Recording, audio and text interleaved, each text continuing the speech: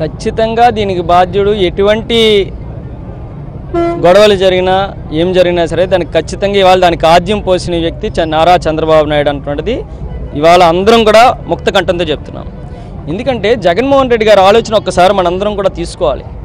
ఆయన అధికారంలోకి వచ్చిన తర్వాత పరిపాలన వికేంద్రీకరణ జరగాలి అనేటువంటి ఉద్దేశంతో సచివాలయం వ్యవస్థలు ఏర్పాటు చేసి నేరుగా ప్రతి గ్రామంలోని కూడా అందరికీ సేవలు అందించేటువంటి విధంగా. అది ఇంకా అదేవిధంగా పదమూడు జిల్లాలను ఇరవై ఇరవై ఆరు జిల్లాలుగా చేయడం కానీ ఇవన్నీ దేనికి?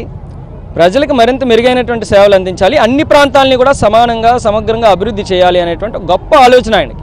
ఒక గ్రామ స్థాయి నుంచి పై స్థాయి వరకు ఒకటే ఆలోచన.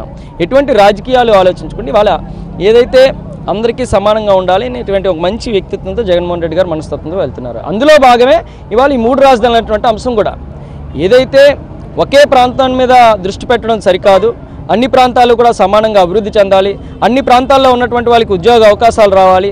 అన్ని ప్రాంతాల్లో ఉన్నటువంటి వాళ్ళ తాలూకా స్థితిగతులు మారాలి మెరుగుపరచాలి అనేటువంటి ఒక మంచి సంకల్పంతో ఏదైతే గతంలో మనం అంతా కూడా తీసుకెళ్ళి హైదరాబాద్లో పెట్టి వాళ్ళు నష్టపోయామో అటువంటి సందర్భం రాకూడదు అనేటువంటి ఉద్దేశంతో మూడు రాజధానులు పెట్టి ఇవాళ జగన్మోహన్ రెడ్డి గారు ఒక మంచి నిర్ణయంతో ముందుకెళ్తుంటే ఇవాళ కేవలం ఒక సామాజిక వర్గానికి సంబంధించో లేదంటే ఆయన చుట్టూ ఉన్నటువంటి బినామీలకి సంబంధించో వాళ్ళ తాలూకా ఎవరైతే పెత్తందారులు ఉన్నారో అక్కడ ధనవంతులు ఉన్నారో వాళ్ళకి సంబంధించిన ఆస్తులు కాపాడడం కోసం ఈ రాజధాని అనేటువంటి వాళ్ళ దండయాత్ర అనేటువంటి కార్యక్రమం చేస్తున్నాడు. కానీ ఎక్కడా కూడా రైతులకు సంబంధించినటువంటి కార్యక్రమం అయితే కాదు. ఎందుకంటే మొన్న చూసాం స్థానిక సంస్థలు ఎన్నికలు అయ్యాయి ఎటువంటి నిర్ణయం ప్రజలందరూ కూడా ఇచ్చారు.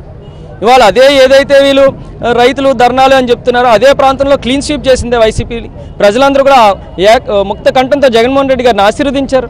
వాళ్ళ ప్రజలందరూ కూడా బాగానే ఉన్నప్పటికీ కూడా కేవ కేవలం ఇవాళ లా అండ్ ఆర్డర్ ఇష్యూస్ తీసుకురావడానికి ఏదో కల్లోలం జరిగిపోతుంది విశాఖపట్నంలో లేంటి ఆంధ్రప్రదేశ్లో అనేటువంటి ఒక వాతావరణం తీసుకురావడానికి వాళ్ళు చంద్రబాబు నాయుడు చేస్తున్నటువంటి కుట్రే ఈ దండయాత్ర అనేటువంటిది నేను తెలియజేస్తున్నాను. మీరు ఎన్ని కుట్రలు పడినా ఎన్ని కుతంత్రాలు పడినా మీరు పాదయాత్రలు కాదు కదా పొర్లు దండాలతో యాత్రలు చేసినప్పటికీ కూడా ఇవాళ జగన్మోహన్ రెడ్డి గారు ఉన్న చిన్న చిన్న అడ్డంకులన్నీ కూడా తొలగించుకొని మళ్ళీ విశాఖపట్నాన్ని ఎగ్జిక్యూటివ్ రాజధానిగా ఇవాళ జగన్మోహన్ రెడ్డి గారు తీసుకొస్తారు. మరి కొద్ది కాలంలోనే పరిపాలన అంతా కూడా ఇక్కడ నుంచి మొదలవుతుంది అంటున్నది ఇవాళ మేము తెలియజేస్తున్నాం. అంతేకాకుండా నిన్న మొన్న ఒక ట్వీట్ చూసాం.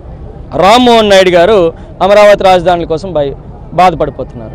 నాకు అర్థం కానిది ఏంటంటే తల్లిపాలు తాగి రొమ్ము కొద్దడం అంటే ఎంతకన్నా ఉదాహరణ ఉండదు. ఇవాళ ఎర్రనాయుడు గారు కానీ అచ్చెన్నాయుడు గారు కానీ ఈ ప్రాంతంలో ఉన్నటువంటి ఉత్తరాంధ్ర ప్రాంతాలకు సంబంధించినటువంటి ప్రజలు వాళ్ళందరినీ కూడా ఆశీర్వదించి వాళ్ళ ఇంత మంచి స్థాయిలో రాజకీయ భిక్ష పెట్టి వాళ్ళని మంత్రులుగా రాజ్యసభ సభ్యులుగా ఎంపీలుగా వాళ్ళకి ఇంత అవకాశాలు కల్పిస్తే ఈరోజు ఈ ప్రజల తాలూకు పురోగతి కోసం వీళ్ళ కోసం పోరాడడం అనేసి ఎక్కడో ఉన్నటువంటి అమరావతి రైతుల కోసం మాట్లాడుతున్నాడంటే మరి రామ్మోహన్ నాయుడు గారు ఈ ప్రజలు మిమ్మల్ని ఎప్పటికీ కూడా క్షమించరు అంటున్నది కూడా తెలియజేస్తున్నారు